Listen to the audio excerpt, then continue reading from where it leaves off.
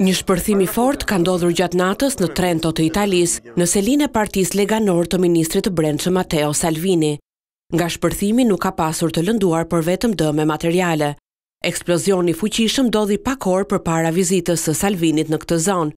Menjëherë pas ngjarjes, zëvendës kryeministri i Italisë, njëherësh ministër i Brendshëm, ka reaguar duke akuzuar anarkistët. Ata që e vunë bombën ishin anarkistë, jam krenar për policinë. Disa individë duan të reagojnë me dhunë, por kjo nuk do të ndalojë buzëqeshjen tonë. Kush e ka kryer ka qenë një budalla që duhet të kalojë disa kohë në burg, shpresoj që ata të kalojnë disa kohë në burg. Ka qenë budalla sepse ka shqetësuar njerëzit që donin të flinin.